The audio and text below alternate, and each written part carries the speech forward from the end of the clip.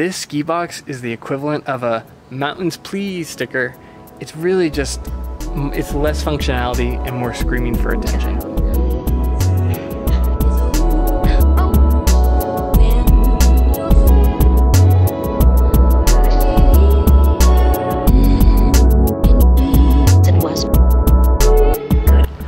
Okay, today I'm gonna talk about the best way to transport your ski equipment.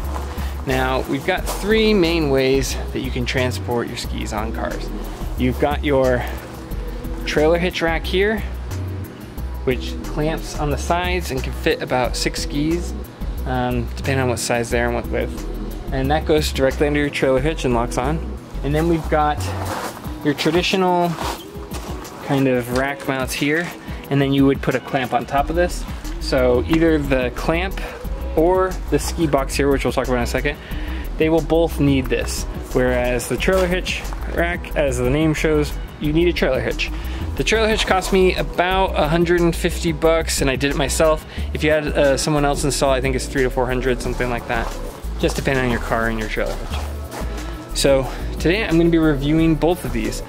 I have used a ski box on a car for about a decade and then more recently I've been using this trailer hitch uh, for the last couple years on my car and uh, this one specifically I've had for two years as well and so I'm gonna just give you a breakdown on the pros and cons who I think should be using them and um, give you a review and rating of both of these systems so you can kind of judge for yourself what's gonna be best and what's gonna be best for you.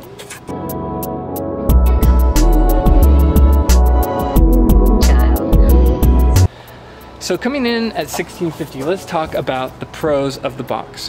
One is that it's a little bit more discreet when you're carrying items across. Um, it's also a little more versatile.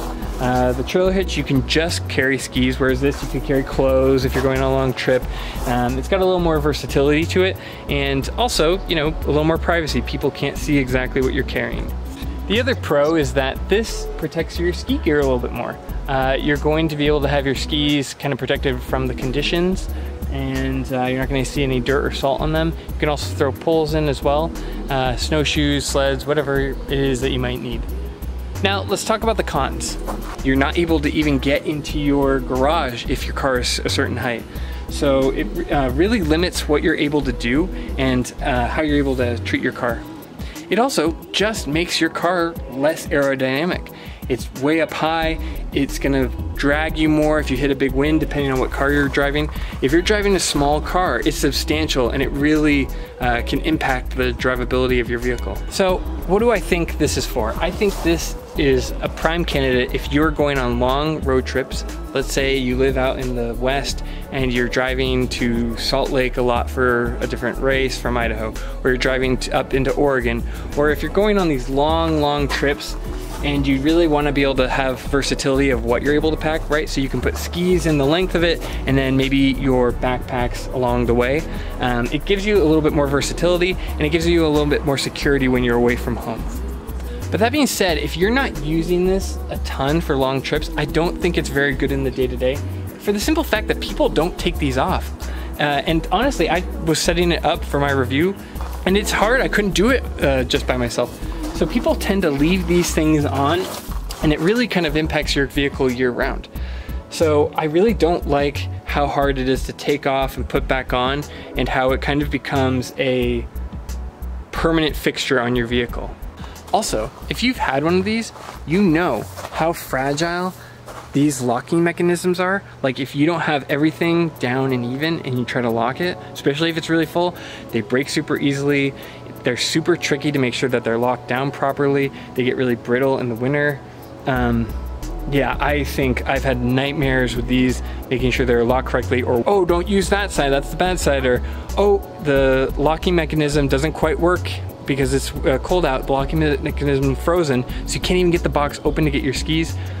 I think that these mechanisms have improved over the years, but uh, even still, the way that they're designed overall is terrible, and these things are really a nightmare functionality wise, especially considering how much it limits your vehicle and being able to go to a car wash, being able to fit in your own garage. So I really hate the way that these roof racks not only look but function. Right? So if you are installing them and something happens, it lands directly on the glass if you have a sunroof. But also they cut down on your gas mileage, they can be loud, and you can't go through a car wash with them. So if you're really diligent about taking these on and off, that's great. But a lot of times in the winter with the salt they put on the roads to go to the mountain, I really like to be able to wash my car. So I don't like the way these look. These little rubber pads where the metal clamps down here, they always wear the paint off. My wife had one on her Corolla and we had it for about two or three years and you can see where the paint has rubbed and faded on this spot spe uh, specifically. I only install these just to prove a point. I never keep these on my own car.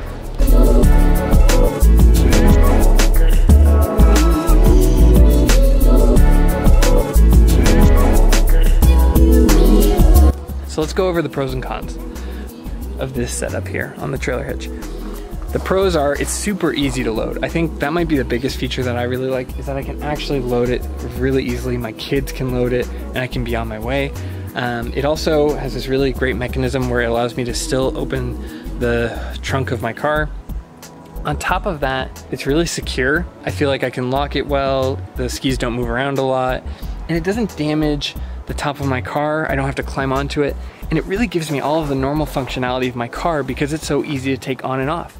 So when I'm not using it, I just take it off, put it in my garage, and then move on and I can still use my car the way it was kind of meant to be used. Versus something like this big roof rack where it's on there and however my car is, whatever the height is, I just need to deal with it until I take it back off. This smaller trailer hitch is really easy to take on and off. I can load it, gives me plenty of skis that I can take.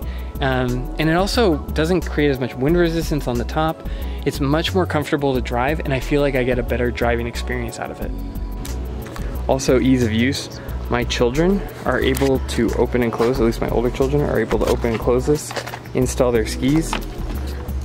Whereas anyone who's had a ski box knows what do you have to do? You have to open one of the doors, stand up, especially on taller cars, and get up into the roof rack here. This is down at a lower level, especially for older people or children. This is much easier to unload and load skis. All right, I'm gonna be brutally honest with you guys. I, after having used both of these and having a ski box for years, I think that the ski boxes kind of suck. I think that they are really overpriced. They don't create that much functionality for the driver or for the, the ski family.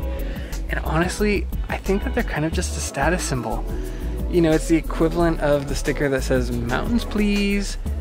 It's just, it's way overpriced for the actual functionality it gives you. And the design is not very good. Like, it honestly kills your gas mileage, makes your car into this giant vehicle that can't be parked where you want to, can't be washed when you need it. Uh, yeah, I'm gonna have to give this design like a 4 out of 10. It has some functionality in the summer, so maybe a 4.5. This bad boy, on the other hand, it doesn't have a lot of sex appeal, you know? It kind of sits on the back, but you know what? It works great. The functionality of these trailer hitch racks is awesome. I don't know why anyone uses anything else unless you're going on these long trips. God, I give this a 9 out of 10. These rule.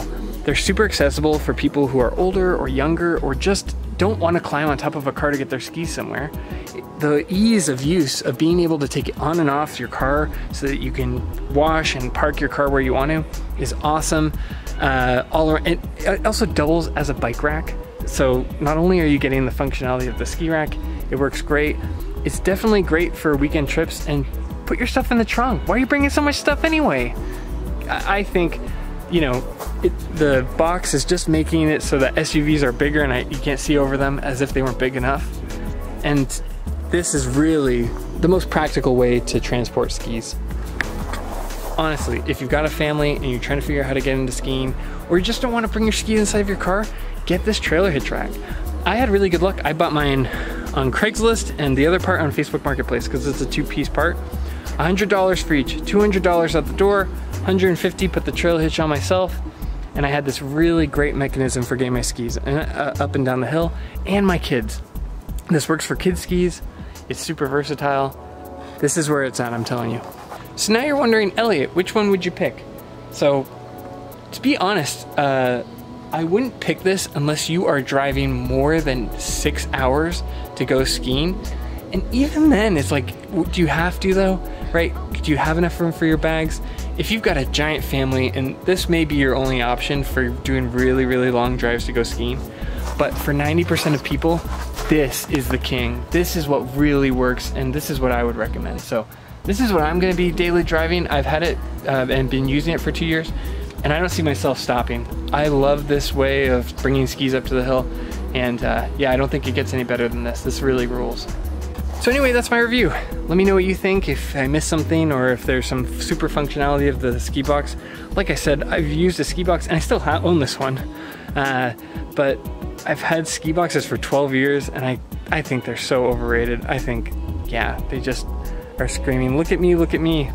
I like to do outdoorsy things. But leave a comment, like and subscribe if you like these kind of videos, and feel free to leave a comment. Let me know what else you'd like me to review. Thanks.